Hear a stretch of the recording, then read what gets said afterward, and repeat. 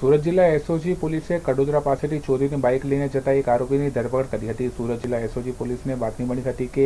એક ઇસમ ચોરીની બાઇક લઈને કડોદરા પાસેથી પસાર થવાનો છે જે બાતમીના આધારે પોલીસે કડોદરા ચાર રસ્તા પાસેથી બાઇક લઈને જતા રાજુ ઉર્ફે કાડિયો શાહિદ શેખને અટકાવી જઈ